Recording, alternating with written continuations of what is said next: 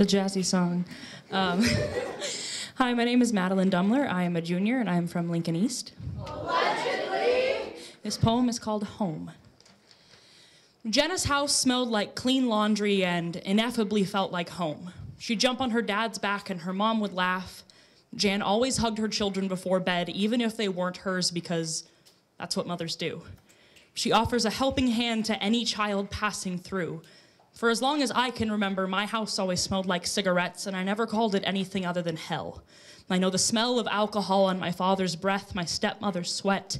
There is no way to disassociate smell from memory. Remember the last time I heard screaming from outside my breaking bedroom door.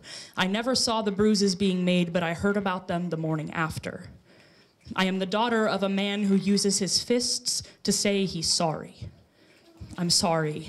I'm sorry. I'm sorry. My father never apologized the right way. I've learned to apologize for everything that is not my fault. My emotions on halt because it's easier than rewriting the same poem with different lines every time I feel like slitting my wrists. I'm taking a risk in mental stability, staying silent in this murder house. My house is an American horror story. I want to go home. Is this home what is home to you and me and the masses of people? What is home? It's the way my best friend laughs, the light in my sister's eyes. What is home?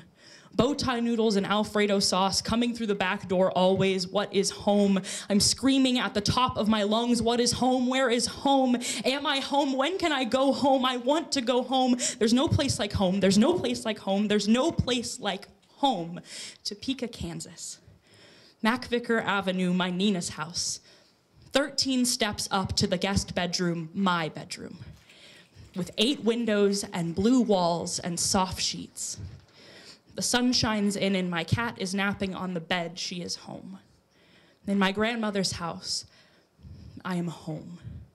Turning the radio up louder on a midnight drive, that song never fails to make us sing at the top of our lungs, filling with windy air and dust from the back roads of Lincoln, Nebraska. Writing a poem about home and wondering when you can make it back.